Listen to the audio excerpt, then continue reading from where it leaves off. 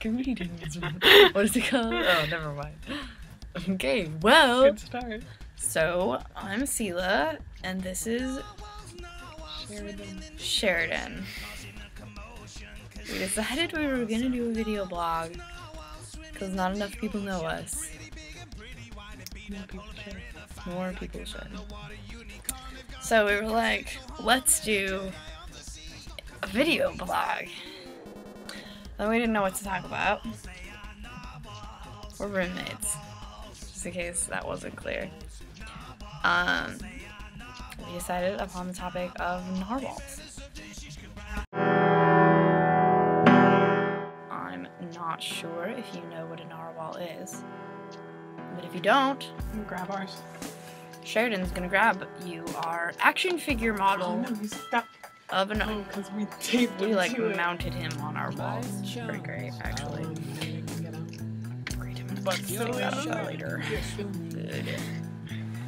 There he is. Here, put him next to the camera so everybody can see. Look at that's a narwhal right there. Narwhal. Sheridan, tell him about the narwhal. This is the narwhal. They live near Greenland, and um, they're like a whale. Like a whale with a horn coming out of its face. Um, the horn is actually a tooth. They're not really sure what it does, but we're pretty sure it's magic. Um, their horn's about what, like six to eight feet long? It says it is about nine. Nine. Okay, even longer. Nine feet. That's a long horn. And I think they're endangered. There's They not are. many left. They're quite endangered because people used to hunt them For their horns. horns. Because they thought that they were magical and caused a lot of good luck, which is probably true. But Mhm. still, I mean, it's no need to exterminate Yeah, entire because they're beautiful. Second day, we had a big, like, dorm meeting down in Free Meth. Um, that's the first Free Methodist church. you don't know. You don't know. Now you know, and she knows. This is good. Free Meth. And someone quoted a verse that had a unicorn in it, and I don't know what Verse happened. from the Bible. The oh yeah, from the Bible. The Quran. Um, and uh, might be in there. I just remember looking at Sheridan, and we didn't listen to the rest of whatever they were like telling us what we can and can't have in the rooms, and like Uh, what we can we already can't break do. all those rules anyway. So, oops. So, but it's okay because we were googling unicorns and their existence, and apparently they're mentioned in the Bible, like freaking They lived in Africa, perhaps. We're thinking maybe related to the, um, like a rhinoceros horn. Oh, yeah, Who knows? I They don't know, but apparently there's like six references in the Bible to something that seems like a unicorn.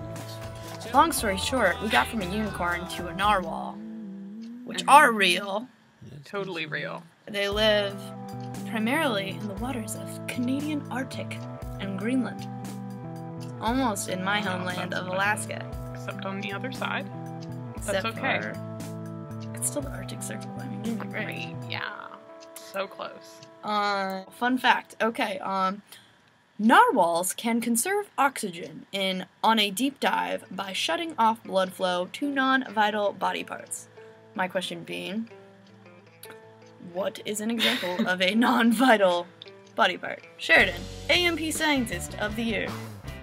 Let me think. Um, maybe the liver sometimes. Um, maybe like um the appendix and like I don't know. I feel like if it's in my body, it's probably vital. It does some things, but I mean you can take out your appendix and be okay. They're not exactly sure what it does, so we're not wisdom sure if it's teeth. okay. You don't need blood flow there. Some of your tonsils.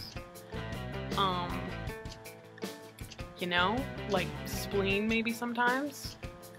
Like you're deep sea don't diving. Don't you need everything? My like, question is like, do they know they're turning it off? Like, hmm, let me Maybe think about this. Let me turn off. Yeah, it must be research that and involuntary. Let everybody. Narwhals vocalize with a series of underwater clicks and whistles that sometimes take on the tune of Jimmy Buffett's Margaritaville. So we tried to find a YouTube video of this and failed. So I'm not completely sure if it's true, but Not I really hope so. it's probably right up there with number six. Scientists have scientists have yet to figure out the exact purpose of the narwhal's horn, but they're pretty sure that it's magic. So that's probably go in the same category of really a good chance that it's true, but we don't have a whole lot of proof. Yeah. What are you gonna do? Do you believe the fairy tale? Do you believe reality? You know? I don't know. Ocean, causing a commotion, cause they are so awesome. Narwhal is Narwhals, real, though. narwhals swimming in the ocean, pretty big and pretty wide and beat up all what's the wrong that chick? An underwater unicorn, they've got a kick Narwhal. ass facial harm, they're Yeah. the Jedi of the sea. The unicorn of the sea!